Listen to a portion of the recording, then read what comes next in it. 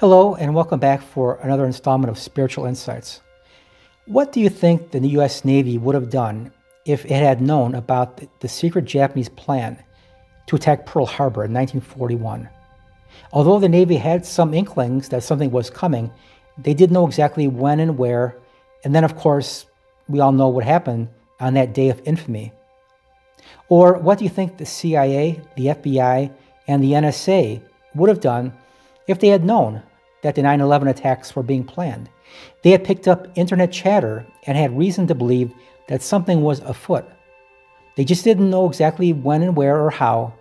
And then, of course, we all know what happened on that fateful day. By its nature, deception is advantageous to the first mover.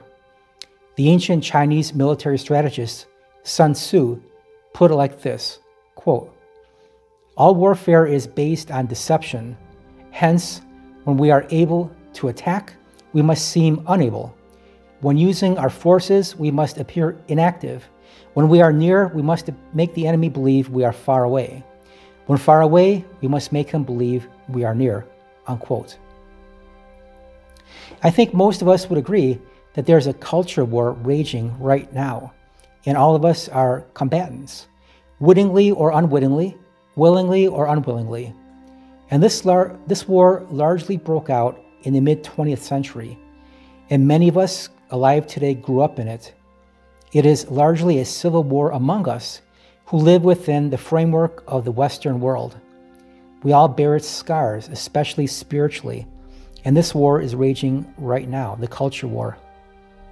In this culture war, there had been no obvious Pearl Harbors or 9 11s, they would compel all Americans to rally around the flag. Rather, it's been more of a, a low level escalation over many years, so gradual that many of us don't even realize that we've been engaged in this conflict at least since the 1960s.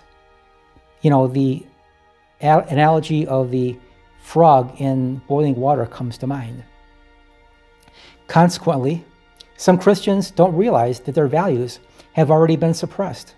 Some Christians fall into the trap of calling for peace when the other side has no such interest. Some Christians don't want to be bothered in, in engaging in this war because they don't want to get out of their comfort zone. And then some Christians think that the culture war has already been hopelessly lost. But the reality is, all is not lost.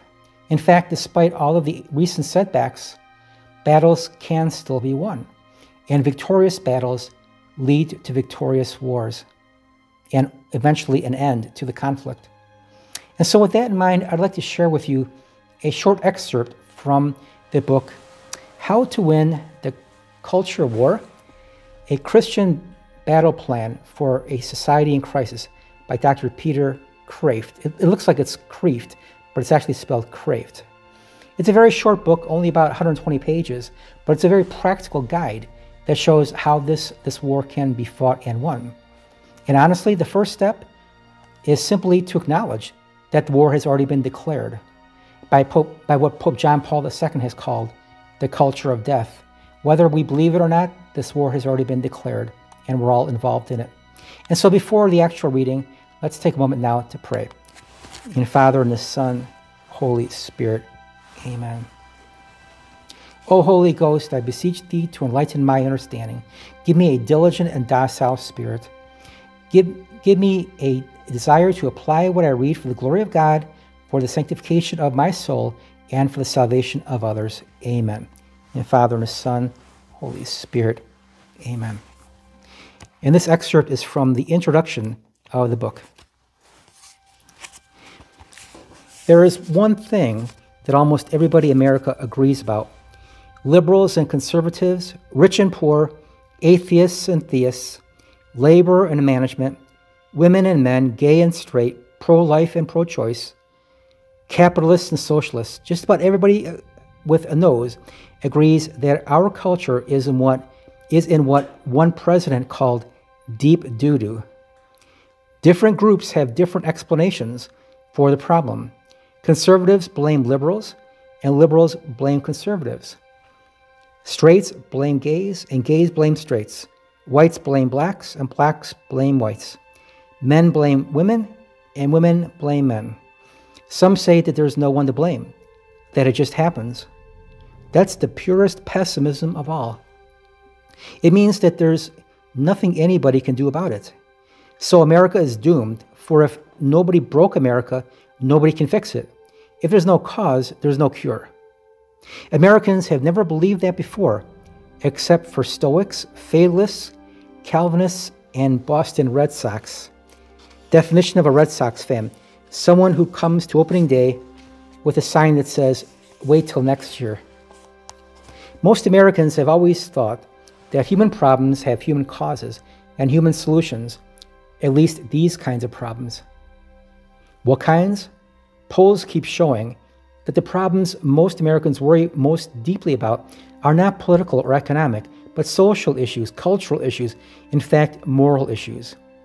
These are the issues that most directly affect the lives of ordinary people and families drugs, terrorism, divorce, homelessness, rape, alcoholism, violence, child abuse, abortion, the destruction of families, teen pregnancies, AIDS, suicide. We're more worried about our wrongs than our rights. This is obvious to anyone but an academic. How could a mother be more concerned with the gross national product than with whether her daughter is going to be raped? No wonder we're having fewer children. Who wants to bring babies into a battlefield? Only the heroic or the naive. Nobody makes a TV show about kids with a title like Happy Days. The 50s were far from utopia but we all know they were significantly happier than today. At this point, someone will respond by quoting the ultimate law of life Ah, but you can't turn back the clock. You can't go home again. You can't stop progress. Yes, you can. This ultimate law is a lie. You can turn a clock back, both literally and figuratively, and you'd better if the clock is keeping bad time. A clock or a society is a man made invention. It doesn't just happen like the weather. We invented it. We can break it and we can fix it. We can stop this false God progress. But instead, we have stopped real progress. Real progress means getting closer to your goal. And the goal of every human being is happiness. Whatever we do, we do it to obtain some kind of happiness. And since we are no longer in happy days, it logically follows that we have stopped progressing by the most universal definition of progress progress toward happiness. We have regressed. So when people today with glum, stoical faces say, you can't stop progress, they really mean exactly the opposite. You can't stop regress. I say you can, and I want to tell you how. But first, who am I to tell you? I am not a sociologist. I am not an expert in anything. What qualifies me to write this book then? Precisely that, that I am not an expert. It is the experts who are the problem.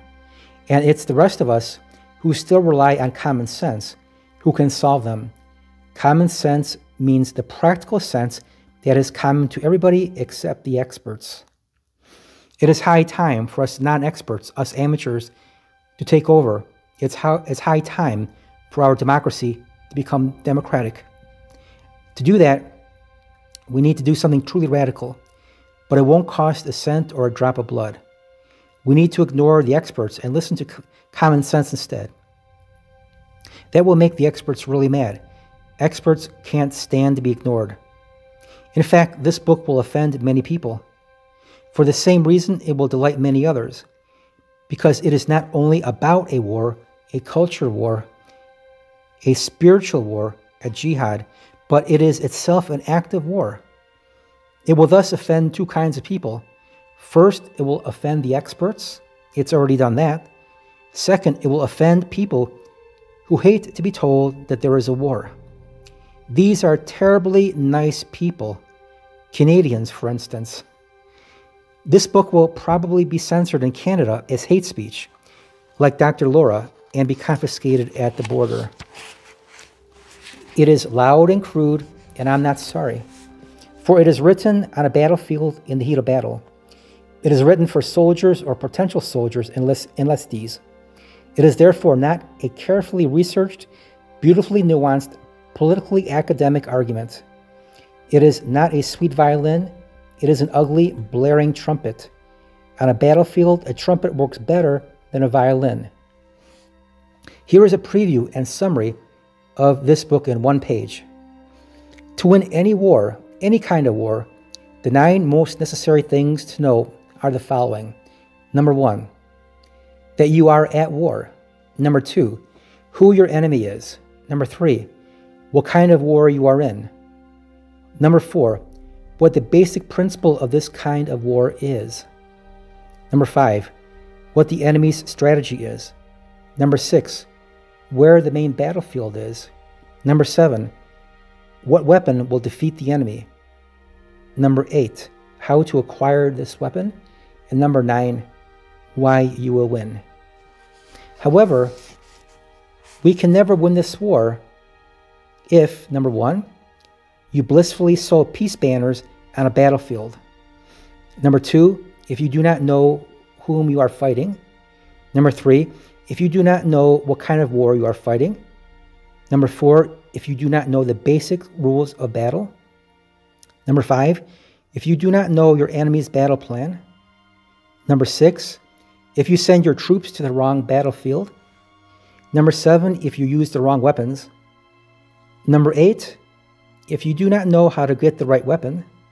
Number nine, if you are not confident of your inevitable victory. This little book is a basic nine point checklist to be sure we know this minimum at least. It is a wake up call. Well, I hope that this has intrigued you to read the entire book. Again, it's called How to Win the Culture War by Dr. Peter Kreeft. And the subtitle is A Christian Battle Plan for a Society in Crisis. I actually read this book as a seminary project, and I highly recommend it. Uh, Dr. Peter Kreeft, um, he, he actually uh, should give himself a little bit more credit. He is now a retired uh, philosophy professor of many years from Boston College, a uh, a Catholic college, Catholic University. And so, as always, I thank you for listening today, and I'd love to read your thoughts and on this topic in the comments section below. And let us now close with prayer. In the Father, and the Son, Holy Spirit. Amen. Grant, O my Jesus, that like thy blessed mother, that we may cherish all thy words, pondering them in our hearts. May the Lord bless you and keep you. The Lord make his, shine, may his face to shine upon you and be gracious to you. The Lord lift up his countenance upon you and give you his peace. May Almighty God bless you, the Father, the Son, and Holy Spirit. Amen. God be with you all.